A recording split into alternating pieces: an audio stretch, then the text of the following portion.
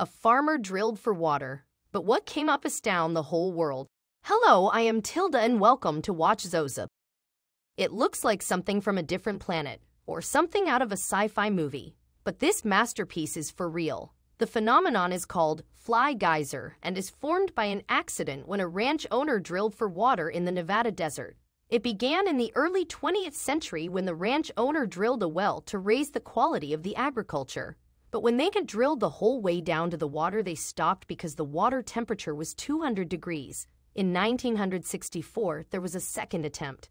It also failed because the water was too hot. After the second failure, they didn't cover the well properly, the result? Jaw dropping.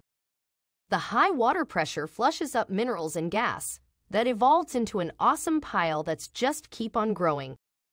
The water ponds have formed its own ecosystem below the geyser. Here you have small fishes and several kinds of birds.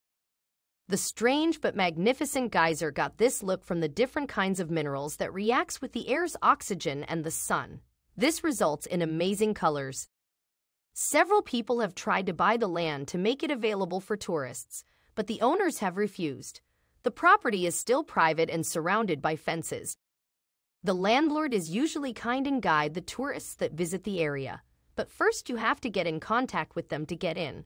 The price for a guided tour differ from time to time.